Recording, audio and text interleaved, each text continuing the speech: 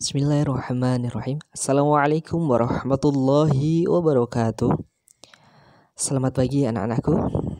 Ya. Kembali lagi hari ini kita akan belajar ya. Dari kami tersebut jelas hari ini adalah mapel untuk aswaja dan KNU-an untuk kelas 7 siswa SMP atau MTS. Baik, langsung saja.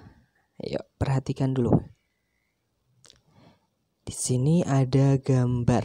Nah, kenal tokoh salah satu ya di Indonesia yang penyebaran Islam. Siapa?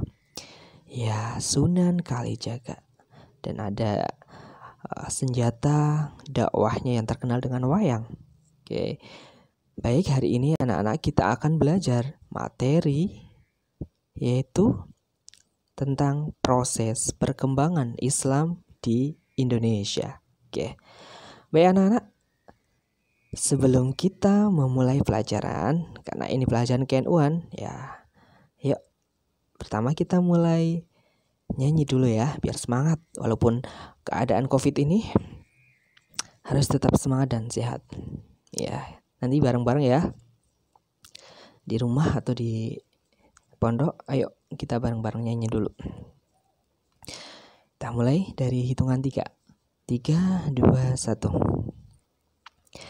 Ya lal waton, ya waton, ya waton Hubbul waton minal iman Wala takun minal hirman In hadu alal waton Ya lal waton, ya lal waton, ya lal waton Hubbul waton minal iman wala takun minal hirman in hadu alan waton Indonesia biladi anta unwanul fakhama kullu mayyatika yauman tamihayyal kullu mayyatika yauman tamihan yalqa himama. Pusaka hati wahai tanah airku Cintamu dalam imanku.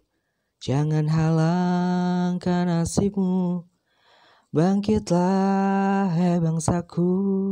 Pusaka hati wahai tanah airku Cintamu dalam imanku. Jangan halangkan nasibmu. Bangkitlah hai bangsaku. Indonesia negeriku Engkau panji martabatku Siapa datang mengancammu? Kan binasa di bawah dulimu. Siapa datang mengancammu?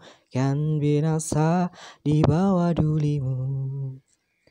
Ya cukup ya anak-anak Ya untuk penyemangat pagi ini Ya nanti kalau uh, harapannya kita berdoa ya. Semoga kita bisa bertemu kembali Dan kita nanti di kelas bisa Bareng-bareng menyanyikan Mars Syubanul Waton ya. Oke Lanjut anak-anak Ya tadi itu adalah Mars dari Syubanul Waton. Baik, kita mulai materinya ya. Nah, coba diperhatikan di sini ada gambar ilustrasi aktivitas perdagangan, perdagangan yaitu di Selat Malaka ya. Jadi dulu awal uh, Islam datang ya gitu salah satunya dengan adanya proses dengan perdagangan. Nah, kapan itu mulai adanya masuk Islam Indonesia? yaitu gelombang pertama Islam masuk ke Indonesia itu mulai dari abad ke-7 Masehi atau abad pertamanya dari Hijriah. Nah, sejarah perkembangan Islam di Indonesia dan cara penyebarannya hmm, dalam seminar sejarah ya. Indonesia itu masuk atau Islam itu masuk di Indonesia itu pada abad ke 1 Hijriah atau 7 Masehi. Kemudian Islam masuk Indonesia itu langsung dari Mekah, tidak melalui India. Itu menurut uh, seminar yang diadakan di Medan ya pada tanggal 17 sampai 20 Maret tahun 1963 dan menghasilkan tiga butir. Yang ketiga yaitu madhab Syafi'i ini merupakan madhab yang mewarnai Islam di Indonesia. Tuh. Kemudian, nah,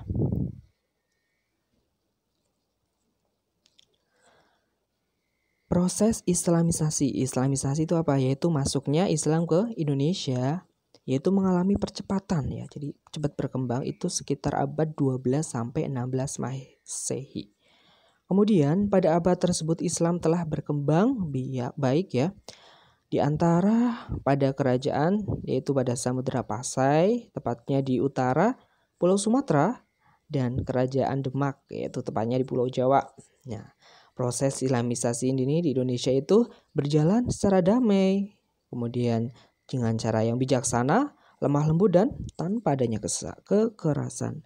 Di sini dah salah satu contoh adanya bukti bahwa adanya makam Malikus Soleh atau Raja Samudra Pasai itu ya. Kemudian nah proses islamisasi oleh para guru agama artinya ini apa e, masuknya Indonesia Islam ke Indonesia salah satunya itu dari tokoh-tokoh ya pertama Syekh Ismail itu dari Mekah yang berangkat menuju Samudra Pasai bertemu dengan Sultan Muhammad keturunan Sayyidina Abu Bakar As-Siddiq di Malabar. Ya, tadi ada Syekh Ismail dan Sultan Muhammad, kemudian keduanya itu menuju Samudra Pasai dan bertemu dengan Meurah Silu yang setelah masuk Islam mengganti namanya dengan Malik As-Soleh ya. Ya, gelar Al-Malik adalah gelar yang sering digunakan oleh raja-raja Mesirnya. Tadi adalah uh, foto yang sudah dijelaskan tadi bahwa adanya makam Malik As-Soleh. Kemudian yang kedua tokohnya adalah Syekh Abdul Aziz yaitu seorang Arab dari Jeddah berhasil mengislamkan penguasa Malak. Kemudian yang ketiga yaitu Syekh Abdullah Al-Yamani dari Mekah berhasil mengislamkan penguasa dan penduduk Kedah. Nah, penguasanya itu ternyata masuk Islam dan mendapat gelar Sultan Mudofar Shah. Dan yang keempat ada tokoh yang dari luar Indonesia itu Syekh Abdullah Arif dari Mekah yang berhasil mengislamkan Aceh. Nah, coba perhatikan tidak asing lagi ya, kalian sering melihat atau bahkan sering mengunjungi, ya kita akan bahas mengenai wali songo atau sembilan wali. Di sini ada wali apa aja? Pertama Sunan Ampel, Sunan Bonang, Sunan Derajat, Sunan Giri, Sunan Kudus, Sunan Kalijaga, Sunan Gunung Jati, Sunan Gresik dan Sunan Muria. Ya. Oke, kita bahas pertama mengenai Sunan Ampel atau Nama lainnya yaitu nama aslinya adalah Raden Rahmat ya. Yaitu lahir di Cempa tahun 1401 Masehi. Nah, ini ya. Nah, Ampel di sini letaknya kalau sekarang itu adalah di mana? Surabaya. Nah, di sini ajaran Sunan Ampel yang terkenal adalah falsafah molimo. Artinya apa? Ora gelem atau tidak mau. Limo artinya perkara lima. Jadi maksud molimo ialah tidak mau melakukan perkara lima yang terlarang apa saja. Tidak mau judi, tidak mau minum-minuman yang berbahaya, minuman keras atau menghisap candu, kemudian zina dan mencuri ya. Itu salah satu Sunan Ampel. Mesti sudah pernah ke sana ya. Oke. Yang kedua ada Sunan Bonang. Sunan Bonang itu nama aslinya adalah Mahdum Ibrahim. Ya, lahirnya tahun 1450 Masehi, ya. Ini ajaran Sunan Bonang itu berusaha memajukan ajaran Ahlus Sunnah bergaya tasawuf dan garis salaf ortodoks yang disampaikan melalui media kesenian. Ya, ini ya. Ia menguasai ilmu fikih, usuluddin, tasawuf, seni sastra, dan arsitektur. Pada tahun 1525 Masehi, beliau wafat dan dimakamkan di daerah Tuban. Ya, sudah pernah ziarah juga ya. Nah, ya kita minimal tahu sejarahnya. Kemudian Sunan selanjutnya adalah Sunan Derajat. Nama asli beliau adalah Masih Munat. Ya, lahirnya 1470 Masehi. Nah, pusat kegiatannya yaitu di daerah Sedayu, Jawa Timur. Nah, atau yang sekarang terkenal di daerah Gresik ya. Inilah wali yang terkenal dengan syahwah atau suka dengan penyantun anak yatim, fakir miskin dan orang sakit. Nah, Sunan Derajat ya sudah pernah? Sudah dong, harusnya di Lamongan ya. Eh, Sunan Derajat Lamongan ya. Kemudian adanya Sunan Giri Sunan Giri atau Raden Paku, nama aslinya ya. Dia putra dari Maulana Ishak dari Belambangan yang juga sahabat Sunan Ampel. Nah, Sunan Giri mendirikan pesantren di daerah Giri. Dalam waktu tiga tahun, pesantren Giri sudah terkenal ke seluruh Nusantara. Sehingga banyak murid-muridnya yang datang dari Madura, Kalimantan, Makassar, Lombok, dan seluruh Jawa. Nah, Sunan Giri dikenal karena pengetahuannya yang luas dalam ilmu fikih, maka orang pun menyebutnya sebagai Sultan Abdul Fakih atau ahli fikih ya. Nah, kemudian tahun 1600 Masehi beliau wafat dan dimakamkan di Bukit Giri atau dekat Gresiknya ya. Sudah pernah juga ya kalian mesti ya. Ini adalah Sunan Giri. Selanjutnya adalah Sunan Kalijaga. Nah, ini yang tadi di awal pembelajaran ya. Nah, nama Sunan Kalijaga, nama beliau aslinya adalah Rajen Jaka Said atau Mas Said ya. Lahir tahun 1450 Masehi ya. Merupakan putra dari Adibati Tuban yang bernama Tumenggung Wila Tikta ya. Ia menjadi murid Sunan Bonang ya, kemudian menikah dengan putri Maulana Iska Nah, Sunan Kalijaga menjadi mubalih keliling dan tidak mempunyai pusat dakwah yang tetap. Dalam melaksanakan dakwahnya, Sunan Kalijaga menggunakan kesenian, ya tadi yang terkenal adalah wayang kulit sebagai medianya dan digemari oleh masyarakat. Sunan Kalijaga merupakan seorang mubalih yang ahli seni, filsafat, kebudayaan, nah, dan karya seni hasil ciptaannya antara lain pertama yang merancang baju takwa ya, nah, menciptakan lagu Dandang Gula Semarangan menciptakan seni ekor bermotif dedaunan, menciptakan beduk ya, ya beduk-beduk di masjid, memprakarsai gerebek mulut ya, biasanya yang terkenal di Jogja. Menciptakan gong, sekaten dan membuat kreasi baru wayang menjadi karikatur, digambar dan diukir pada kulit binatang. Nah, pada pertengahan abad ke-15, Sunan Kalijaga wafat dan dimakamkan di daerah Kadilangu dekat Demak gitu ya. Harus tahu minimal tahu sejarahnya. Nah kalian pasti pernah ya sudah pernah ziarah ke sana. Kemudian Sunan Kudus nama aslinya beliau adalah Jafar Sodik ya lahir 1400 nah, Panglima Demak ya peninggalannya yang terkenal adalah Masjid Kudus. Ya identik ya atau uh, ikon dari Kudus ya. Nah, tahun 1550 beliau wafat.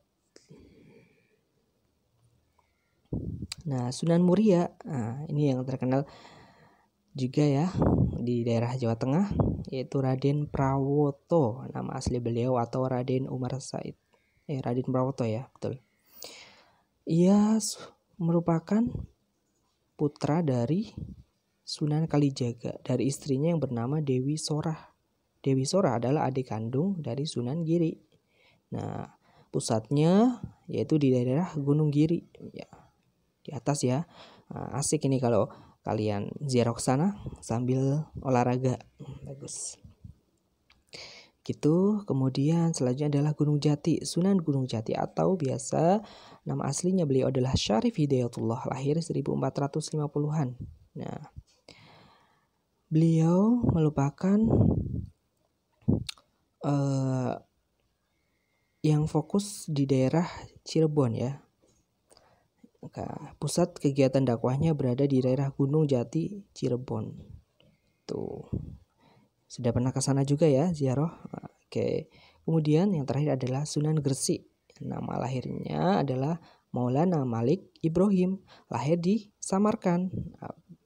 yaitu sekitar awal abad 14 tahun 1392 Hijriah. Hijrahnya ke Pulau Jawa.